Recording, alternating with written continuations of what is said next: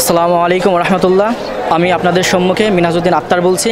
আমার হাতে যে গ্রন্থটি দেখতেছেন, এই গ্রন্থটি গল্প থেকে শিক্ষা। গল্পকে বলা হয় জীবনের অন্য নাম, গল্পকে বলা হয় জীবনের প্রতিরূপ। গল্পকে বলা হয় জীবনের আয়না। যে আয়নাতে চোখ মিললে দেখা যায় জীবনের স্মৃতি, দুঃখ, কষ্ট, হাসি, কান্না, ক্ষয়, ভয়, জয় ও আশা, আকাঙ্ক্ষা। এই বইটিতে এসেছে, যাপিত জীবনের বাস্তব চলচ্চিত্র। এখানে আমি সতেরোটি গল্প সন্নিবেশিত করেছি।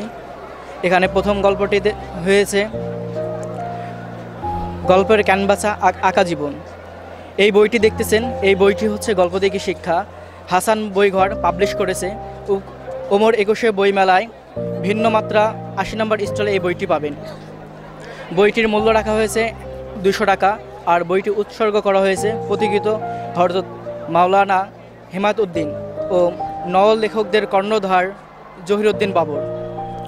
তদুপরি আমি লেখক হিসাবে এই বইটির বহুল প্রচারণা কামনা করছি।